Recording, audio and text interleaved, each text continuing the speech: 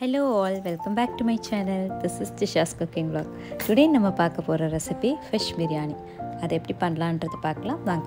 First மேரினேஷனுக்காக ready பண்ண போகிறோம் மேரினேஷனுக்காக ஒரு பவுலில் turmeric powder cumin powder coriander powder chilli powder தேவையான அளவு சால்ட் ஒரு ஸ்பூன் ஜிஞ்சர் கார்லிக் பேஸ்ட் ஒரு table spoon oil cooking oil எல்லாமே சேர்ந்து நல்லா மிக்ஸ் பண்ணிக்கலாம். தேவைப்பட்டால் கொஞ்சமாக தண்ணி ஆட் பண்ணி நல்லா மிக்ஸ் பண்ணிவிட்டு நம்ம வாஷ் பண்ணி வச்சுருக்க ஃபிஷ்ஷஸ்லாம் எடுத்து இதில் கோட் பண்ணிக்கலாம். நான் எடுத்திருக்க ஃபிஷ் வந்து வஞ்சரம் ஃபிஷ் தான். இதை கோட் பண்ணி மேரினேட் பண்ண வச்சிடலாம் ஒரு தேர்ட்டி மினிட்ஸ்க்கு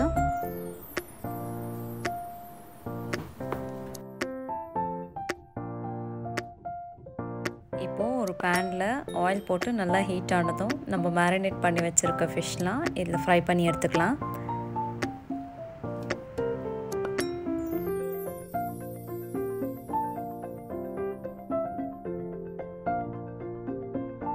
ஃபிஷ்லாம் ஃப்ரை பண்ணி எடுத்தாச்சு. இப்போ பிரியாணிக்கான ப்ரிப்ரேஷன் பண்ணலாம்.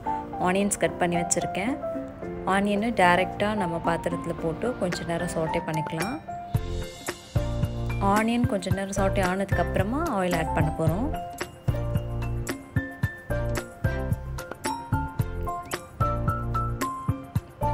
ஆயில் ஆட் பண்ணிவிட்டு நல்லா வதக்கிக்கலாம். ரெண்டு bay leaf whole spices add பண்ணிக்கலாம். ரெண்டு பட்டை கிராம்பு கடற்பாசி எல்லாமே போட்டு நல்லா வதக்கிக்கலாம். க்ரீன் சில்லிஸ் ஒரு மூணு ஆட் பண்ணியிருக்கேன் நல்லா கோல்டன் ப்ரௌன் ஆன வரைக்கும் நம்ம இந்த வெங்காயம்லாம் வதக்கிக்கலாம். வெங்காயம் நல்லா வதங்கினதுக்கு அப்புறமா புதினா கொத்தமல்லி ரெண்டுமே வாஷ் பண்ணி வச்சுருக்கேன். கட் பண்ணி அதை ஆட் பண்ணிவிட்டு நல்லா வதக்கிக்கலாம்.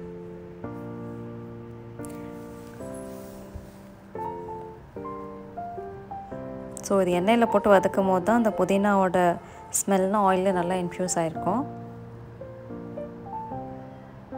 பூ ஜிஞ்சர் கார்லிக் பேஸ்ட் ஆட் பண்ணுறேன் ரெண்டு table spoon ginger garlic paste.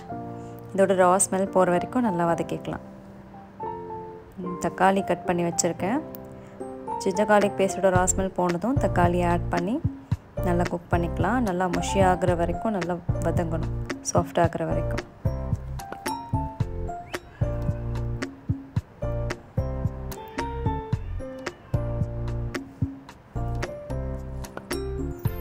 தேவையான அளவுக்கு சால்ட் ஆட் பண்ணிக்கிறேன். ஒரு ஸ்பூன் சில்லி பவுடர் ஆட் பண்ணிக்கிறேன். Kashmiri red chilli powder.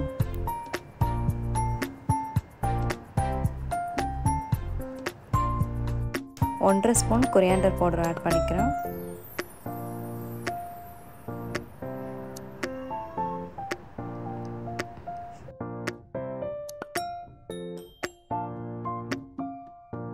Half table spoon மஞ்சள் தூள். நல்லா எண்ணெய் தனியாக பிரிஞ்சு வந்ததுக்கப்புறமா தண்ணி ஆட் பண்ணிக்கிறேன். நான் ஒரு கப் ரைஸ்க்கு ஒன் த்ரீ ஃபோர்த் கப் தண்ணி ஆட் பண்ணியிருக்கேன் தண்ணி நல்லா கொதித்ததும் நம்ம வாஷ் பண்ணி சோப் பண்ணி வச்சுருந்த பாஸ்மதி ரைஸை இதில் ஆட் பண்ணிக்கிறேன். ஆட் பண்ணிவிட்டு உப்புலாம் கரெக்டாக இருக்கா? உப்பு காரம்லாம் கரெக்டாக இருக்கான்னு செக் பண்ணிவிட்டு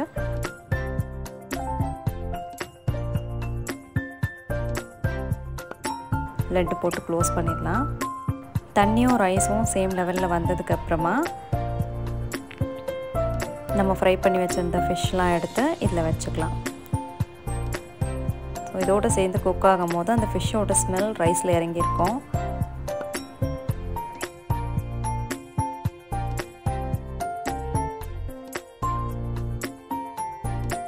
இப்போ ஒரு லெட்டு போட்டு மூடிட்டு மேலே வெயிட் வச்சுட்டு ஃபைவ் மினிட்ஸ் குக் பண்ணிக்கலாம். ஃபைவ் மினிட்ஸ்க்கு அப்புறமா தவா வச்சுட்டு தம் போட்டுடலாம். தம் போட்டிருக்கேன். தம் வந்து ஒரு டென் டு ஃபிஃப்டீன் மினிட்ஸ் போட்டால் போதும். இப்போ ஓப்பன் பண்ணி பார்த்துக்கலாம். பார்க்கும் போதே தெரியும் ரைஸ்லாம் நல்லா குக் ஆகி வந்திருக்குன்னு சொல்லி. இப்போ இந்த ரைஸ்லாம் நம்ம சைடில் ஃப்ளஃப் பண்ணி விட்டுக்கலாம். நல்லா ரைஸ் ஒன்றோட ஒன்று ஒட்டாமல் அழகாக குக் ஆகிருக்கு அவ்வளோதான் நம்ம சூப்பரான ஃபிஷ் பிரியாணி ரெடி ஆயிடுச்சு நீங்களும் இதை ட்ரை பண்ணி பார்த்துட்டு என்ஜாய் பண்ணுங்கள் தேங்க்ஸ் ஃபார் வாட்சிங் பாய்